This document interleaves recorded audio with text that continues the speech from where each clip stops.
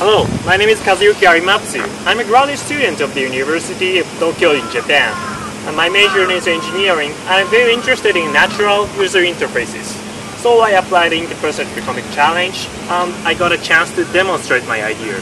Today, I will introduce my app, Gesture Car Audio Controller. When you're driving a car, sometimes you might think you want to change music or volume. However, unfortunately, the car audio control is located below the dashboard, so you have to look away from the to handle it. This is a big problem.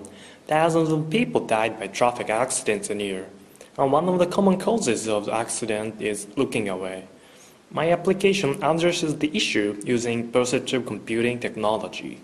Here's an overview of our system. Our system consists of the gesture camera and an internal computer the gesture camera detects driver's gestures, and the NUC processes gestures and changes music or volume. NUC's audio output is connected to AUX input of car audio. Now let me show you some demonstrations.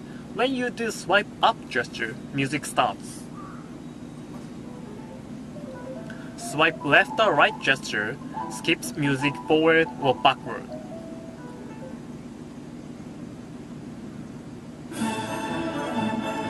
When you want to change volume, you can just turn virtual knob.